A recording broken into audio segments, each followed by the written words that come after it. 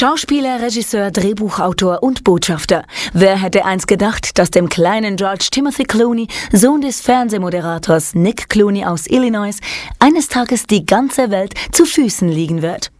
Aber der Mann aus Kentucky hat seinen Weg gemacht und engagiert sich mittlerweile gezielt für gemeinnützige Projekte steht der zweifache Sexist Man Alive auch als Botschafter namhafter Unternehmen vor der Kamera. Wer durften George Clooney mit der Schweizer Luxusuhrenmarke Omega nach Tokio begleiten?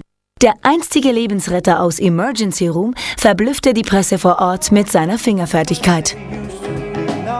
I think that the watchmakers down there felt a little uneasy with my skill because they started off as you know, yeah, let's let George come in and play around. But after I put three or four of the watchers together, I think that they realized that perhaps they were in with some heavy competition.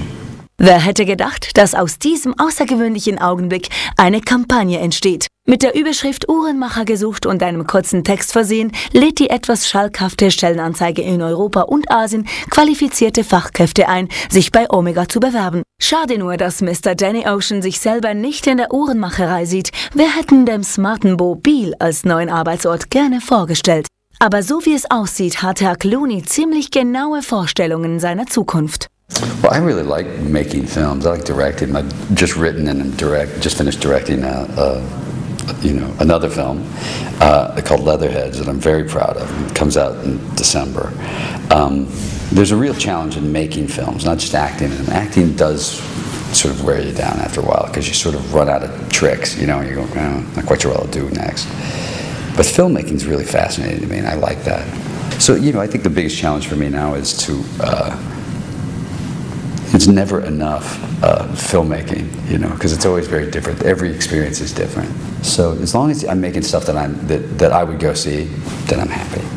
The minute I start doing those other films, which I've done before, I'll quit.